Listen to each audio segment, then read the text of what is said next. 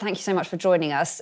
Just firstly, give us, you've obviously been in contact with the family for a long time. Give us your reaction when you heard the verdict today. Well, obviously, the first thing that we have to take into consideration is that a young man has lost his life, and the family will be grieving today. Uh, they, as they've rightly said, are, are, are devastated uh, by what has happened, and um, we have to respect that. And do you respect the decision of the jury, I guess? Uh, we have to respect legal uh, processes. However, we do also have to respect the fact that the CPS thought that there was enough evidence to bring a murder charge. It's absolutely right that when somebody dies after contact with the police that there is an investigation. That is what happened here, and it went further.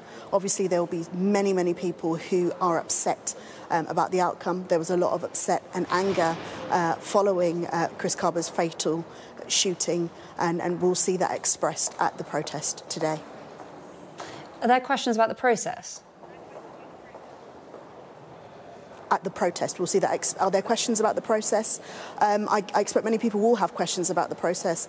As we will know, there have been very, very few officers that have ever faced a charge like this, but there have been many, many more people that have been killed following contact uh, with the police. There are a number of families um, that are still waiting uh, for, for, for, what they believe is, is, justice. So we do have to acknowledge that that is the case. It's, it's, it's been very, very few officers that have ever faced such a charge. You say you respect the legal processes. I guess what is your message to the family this evening? I mean, wh- where can they go from here?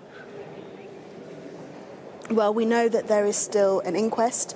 Um, there are perhaps other legal options open to them, but they absolutely have the right uh, to, to, to, question this, as do a number of members of my community uh, that have been doing it. As I said, there was a lot of shock, there was a lot of anger uh, when this fatal shooting uh, took place, and there is clearly a lot of work to be done to rebuild trust and confidence in policing, particularly within the black community, where you will know uh, that black men in particular are met with more force. So that there is a lot of work uh, to, to be done, and we know there is not as much trust and confidence in the police as there should be. You say there's a lot of work to be done. How, how can that trust be restored? Well, I think firstly by actually working uh, with our communities. At the moment, there is a feeling um, that black communities are over uh, policed um, as, as, as citizens and under policed as victims. I think people are concerned about uh, the lack of community policing as opposed to response units. We have seen far too many videos uh, over, over the years of what look um, like brutality and perhaps a number of officers jumping out of a car uh, to stop and search uh, one young man. And when people rather do uh, call the police to investigate uh, crimes because of the shortage, and we know that the police are under a lot of pressure in terms of resources, but you know, people worry about the fact that they do not necessarily see that response when it comes to other crimes. So there's there's a lot of work to be done, as I said, to rebuild uh, that trust and confidence, particularly um, in my area, um, Brixton Hill, uh, Clapham area. We, there, has been a history um, of, of, of issues between police and communities, and we want to see that resolved. We work quite well actually with our local police officers, and in fact, a lot of the issues are when officers come from outside of the area on the police, though, this was a case that caused huge uproar within the Met. Absolutely. Um, people I hear, or officers I hear, are concerned that should they, you know, use said firearms or should they use a certain amount of force that they will find themselves in trouble. But as I said, and as is actually a fact, very few officers have faced such a charge, whereas a number of more people have died following contact with the police. And can I ask you a bit about what's happening this evening? So I, am right in thinking you're going to the Old Bailey and you're, you're meeting the family. What is happening there?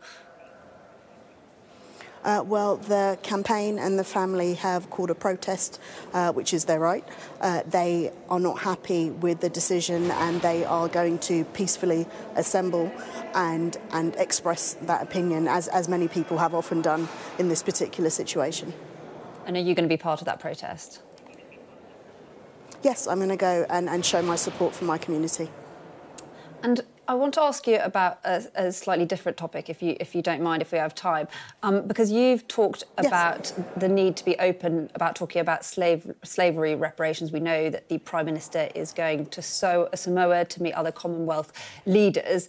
Um, there was a very clear indication today Downing Street spokesperson saying we do not give out um, reparations. We won't be offering an apology at CHOGM. That's the meeting that's happening in Samoa. What was your reaction to that? Mm-hmm. Well, I think that if it is on the agenda for Commonwealth nations, it should very much be on our agenda. It speaks volumes if we are not willing to address what is a concern amongst a group of nations which we which we literally call a family. Um, it is wrong that for one of the worst crimes in history, uh, which we played an active part in, we are yet to even provide an apology or even discuss the idea of reparations. I mean, an apology is free. Uh, that's something that we could give quite freely. Uh, reparations as well doesn't have to just take the form of financial uh, reparations. There are many other ways in which we could atone for things that the British state has done in the past. So, were you quite disappointed then with the response from Number 10 today? Um, yes, it is quite disappointing, but I think more important than my disappointment is going to be the disappointment of a number of nations who had hoped that by now the UK saw them as equals. I guess the argument on the other side is that this could cost trillions of pounds should you know an ordinary taxpayer who has no personal responsibility be paying. Well, I think that is part and parcel of the issue. No one sat down to talk to uh, reparations campaigners in the UK or reparations uh, campaigners outside of the country or the governments fully about what reparations means. Yes, people have quantified it in terms of, of money, but there are a number of different ways. There are environmental reparations, educational reparations. There are things that we can do um, that are actually within our law. Returning uh, human remains uh, that are stored currently in museums, that is a form of of, of, reparations. It's just that we haven't taken the time to discuss all of the different things uh, that we could do to literally repair the imbalance, repair the damage that was caused by enslavement and colonialism. And, and I think it's wrong if we don't even actually just take the time to discuss it again with a group of nations, which I, I believe that we are family. And obviously, it's, it's also going to have another impact. For those who don't accept the moral argument, I would look at the economic one. At the moment, India and South Africa choosing to go to the uh, BRICS uh, meeting as opposed to attend attending um, the, the, Commonwealth heads of nations, and I think that speaks volumes. Um, unfortunately, it's, it's showing that there are a number of nations who are, are, are you know, climbing uh, economically, not because of what the UK has helped them to do, but in spite of it. And you know, following leaving um, our largest trading partner, Brexit, we really do need uh, to make friends, and we're not going to do that across the world if we continue to look down on people. Bell Ribeiro-Addy, thank you so much for joining us this evening.